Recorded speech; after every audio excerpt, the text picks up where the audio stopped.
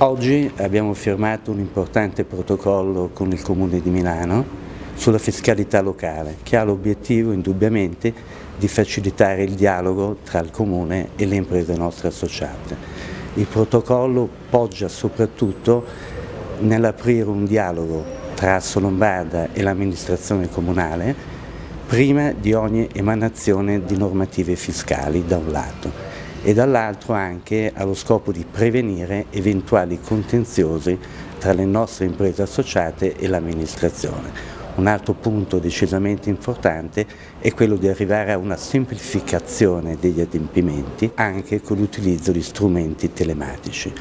Da ultimo, ma non meno importante, è quello di studiare e emanare delle normative che permettono di attrarre investimenti di imprese sul nostro territorio. Sì, io credo che sia un importante passo per eh, rivisitare proprio quello che è l'approccio che le imprese, le istituzioni pubbliche devono avere verso la fiscalità. Il tema della fiscalità come strumento di politica economica credo che sia fondamentale. La collaborazione fra le imprese e le istituzioni pubbliche credo che sia un passaggio